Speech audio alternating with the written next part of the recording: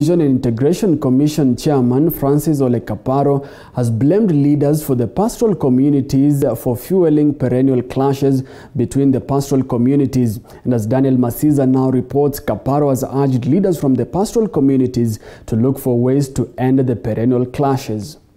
Speaking at Ngoisusu village in Laikipia North during a reconciliatory meeting between the Samburu and Pokot communities, former National Cohesion and Integration Commission Chairman Francis Ole Kaparo accused leaders from pastoral communities and professionals in Laikipia, Samburu, Baringo and Isiolo counties for what he termed as failure to end the clashes.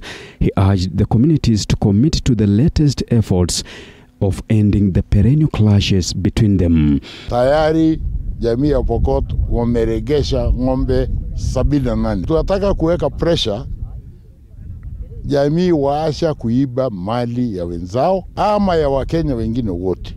On his part, Tiat East OCPD Kobia Bariu cited the proliferation of small arms and light weapons as a catalyst to continued conflict between the pastoral communities. Kama si bunduki, hakuna mtu anaweza iba na rungu, ama hakuna mtu anaweza iba ng'ombe na rungu. Sasa hii tunapoteza maisha wa watu, watu wamepoteza hiyo mali yao. Sasa tunaenda wapi? During the meeting, the Moran warriors and elders from Samburu and Pokot communities made resolutions aimed at bringing to an end perennial cattle rustling and retaliatory attacks. We believe that uh, peace is not a one-man uh, uh, activity and it calls for a collaborative unit.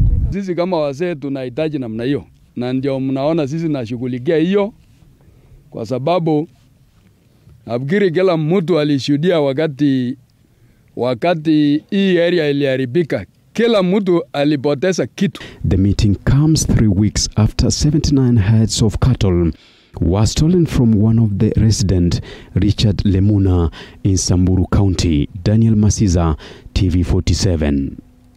Well, thank you, Daniel Masiza.